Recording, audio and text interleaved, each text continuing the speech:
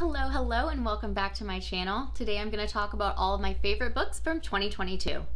So in addition to discussing my favorite books of the year, I wanted to share some of my stats from Goodreads about my reading habits this year.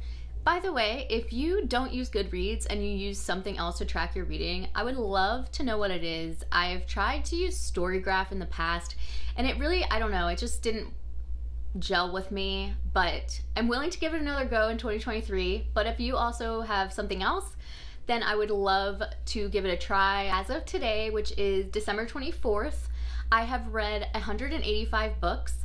I am currently in the middle of three more, so hopefully I'll be able to get to it like around 190 for the year. I will return with more updates uh, early in the new year with that. But I have read just over 64,000 pages, which I think is actually sort of low because I DNF'd a good chunk of books this year, which I never count towards my goal if I didn't finish it. I should I maybe next year I will do like a DNF pile so I can still kind of count the pages read, but and it's just like it never happened. So as far as my um, tallies or whatever for the year, so eh, next year we'll give it a try. The shortest book I read was Resting Scrooge Face by Meghan Quinn, which was 80 pages. It was just this cute little novella. I really enjoyed it. It's on Kindle Unlimited, so if you have that, I mean, it's a fun little one, although Christmas will be over by the time this is posted, but if you just want a cute little romance, it's definitely good there. The longest book I read was 112263 by Stephen King, which is 849 pages. Favorite book of all time. I could talk about it forever, but I won't because I'm pretty sure I've already done that on this channel more than once. So let's go ahead and get into my favorite books of 2022. So to make this list, I had gone through my Goodreads and just written down every book that could like potentially be in the top whatever. Just that like I really, really loved. And I came up with like 15 books.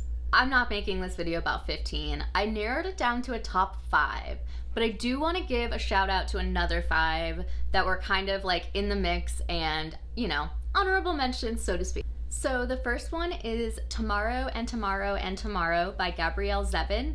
This is about two friends who meet in an unlikely circumstance and bond over a love of video games. It spans through a long period of time where they develop their own video game, go into business together, and you don't really have to have a good understanding of video games to love it because I don't and I did. The next honorable mention is The Invisible Life of Addie LaRue by V.E. Schwab.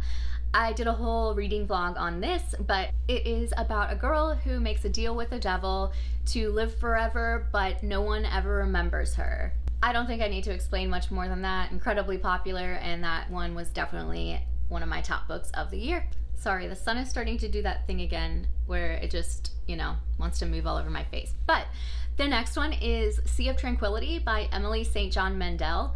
This is a book that I'm not even going to try to explain because it is very much speculative fiction, but if you are into like kind of weird books, highly recommend. So, so good. My next honorable mention is Yellow Wife by Sadeqa Johnson. I know I spoke about this one as well in another video, but it is about a woman who lives on a plantation. She's biracial and she ends up getting sent to this other sort of uh, slave camp when she turns 18 and it was just a gorgeous beautiful, perfect story, and everyone should read it. And the last one before I get into my top five favorites is Bad Blood by John Carreyrou. This is about Elizabeth Holmes and Theranos, and he's the one that kind of broke the whole story about how she was didn't know what she was doing. She didn't have this technology. And if you have any interest in that kind of case or like just scams, Gotta read it. It's so good. I read it after I watched the TV show The Dropout on Hulu. And like I had sort of been following the case, but not really. And then I became obsessed and I started listening to the Dropout podcast. And the kind of like final chapter of this whole saga has just happened in real life. So I won't spoil it if you don't already know, but definitely a good one to check out if you're into true crime. So now for my top five. Also, I'm so sorry about the sun. I feel like I always just choose to make videos at the worst time of day when it's just right in my face. Anyways, the first book I want to talk about is The Violin Conspiracy by Brendan Slocumb. This book came out back in February and it did get a, an okay amount of hype. It was the Good Morning America pick for February last year. This year? Wow. Okay. I'm already ready for 2023, I guess. But yes, it was the uh, Good Morning America pick in February 2022. And it is about a guy, he's black, and he wants to be a violinist. And he, you know, it starts in the past where he is trying to figure out how he can do this because he can't afford his own instrument and his family is not very supportive except for his aunt and they all are just like you need to get a real job. And apparently something i didn't know and um, this is kind of semi-autobiographical just in the sense that like the author is a violinist and he is black and he went through some of this same stuff. But apparently classical music is a lot of racism. I didn't know. So this he's got all these odds stacked against him and then he finds this violin in his grandmother's attic and it was his uh, great grandfather's fiddle and he somehow finds out that it's this incredibly famous like incredibly valuable instrument it's worth like over a million dollars so as the main character ray has sort of begun to get some fame the descendants of the family that enslaved his ancestors are claiming the violin belongs to them. And he ends up entering this huge competition in Russia. I'm sure it's a real, the Tchaikovsky competition. It goes missing. And so it's this whole thing. It's an incredible story and a great crime novel, but it's honestly about so much more than that. A lot of the story is spent on the origins of the violin, how it came into his possession, and how Ray became a violinist. And it really makes the violin almost its own character, which was really cool. It also makes it really clear how much of a loss this is when it is stolen from Ray. Like you feel it too. And despite having no knowledge of classical music, I felt like I could still envision like and hear, not envision.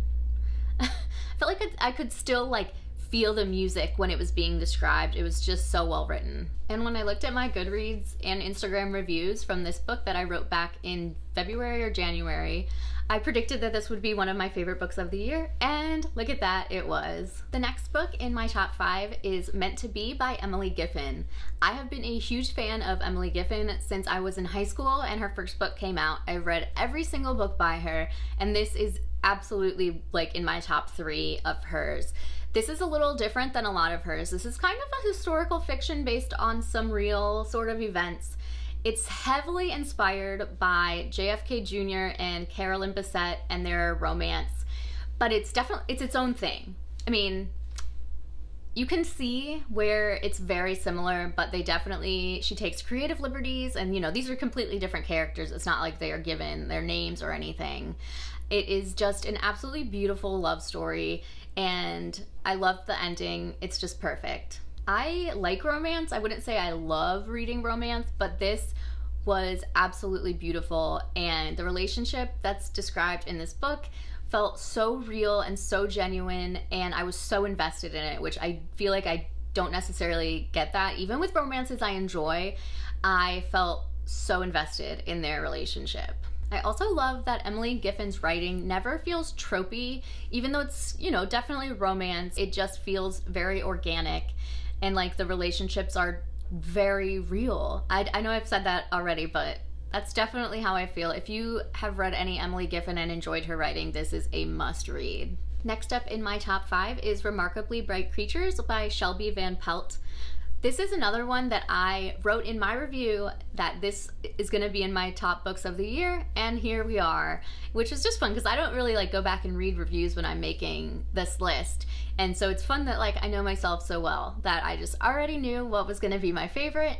This is about a widow who works as a night cleaner at an aquarium. She doesn't need the money, she just likes to have something to do, and she ends up forming a friendship with an octopus named Marcellus. That is basically all I knew about this book when I started reading it, but it is just a beautiful like story about the human spirit and different connections, um, relationships between people, and I just loved Marcellus. He's just the best character. This is categorized, I guess, as literary fiction, but it never really felt like highbrow or like it was inaccessible while it's a little bit fantastical, I would call it maybe a little bit of like magical realism just in the octopus thing. But if you had enjoyed like the House in the Cerulean Sea or The Guncle, it kind of has the same vibes. Definitely pick this one up. It was so, so good. I also listened to the audiobook and I really enjoyed it, so I definitely recommend that if you're into audiobooks. Next up is Mad Honey by Jodi Picoult and Jennifer Finney Boylan. This was one that I've discussed, I think, earlier in one of my monthly wrap ups, but I'm happy to talk about it again. So, this is about a woman who has escaped an abusive marriage and she has moved up to her hometown where she grew up and taken over her father's bee farm. I guess that's what it's called. Beekeeping farm, whatever. Her world is rocked when her son is accused of killing his girlfriend. Whew. So that's kind of where she's at with is this abusive tendency genetic? Is my son a monster? And the twist in the middle will blow your mind. I did not see it coming. I hope that if you haven't read this, that no one spoiled it for you because my jaw hit the floor. It's so wild, and this book is so good. if you've read Jodi Picoult, you know what kind of books she writes and just how they're so hard hitting. And she does her research. I mean, this book is so well researched, you would think that she is a beekeeper herself. Such a good book, must read. All right, and I don't know if I saved the best for last, but this is definitely one that I know people haven't heard of as much. I don't know why. This book is incredible, and that is The Hop by Diana Clarke. So this is about a woman who comes from like a rural town in New Zealand. She has a like a very poor family, a single mom, and she basically finds out that like she can make something of herself as a sex worker. So she leaves her town in New Zealand and moves to Nevada to work at the famous brothel The Hop. Bunny Ranch sort of situation.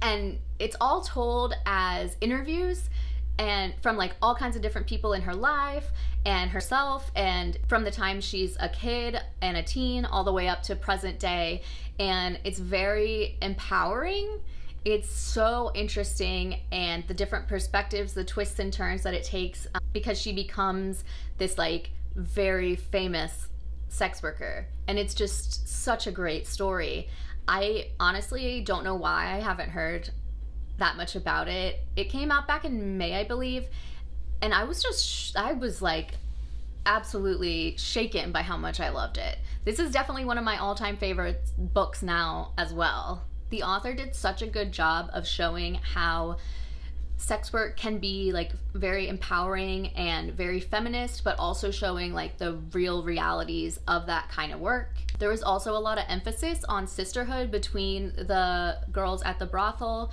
and a lot of diversity. There was a trans uh, worker, there were a lot of different races and just sexual identities, and it was just a really great story and it was so just captivating. I could not put this book down for those of you who love short chapters like I do, such short chapters, it was so hard to put this down because you were just like, eh, well, this is just like another page and a half. Okay, yeah, I gotta read one more. So good. I mean, if you pick up one book from this video, make it this one, please. And there you have it, my favorite books of 2022. I can't believe that we are almost in 2023. There's so many exciting releases to look forward to. I can't wait to share some with you that I have already gotten copies of and been able to read. It's been so nice to be on YouTube. I feel so welcomed by so many other um, channels, and I appreciate your support so much. It means so much to me that I was able to get 100 subscribers, and I hope that in the future I just keep growing. If you have any suggestions for videos you like to see, the types of videos you prefer, I would love to hear your comments because I am having a blast doing this for myself, but I want people to watch them. So if you have any suggestions, please let me know. I am planning on getting a vlogging camera in the early new year, so that will be exciting and I can stop filming on my phone, so hopefully the quality will be a bit better. What a world. Uh, so thank you so much for watching. Thank you for subscribing if you do. If you don't, I would love it if you would. I hope everyone has a wonderful holiday season, a happy new year, and I will see you all in 2023.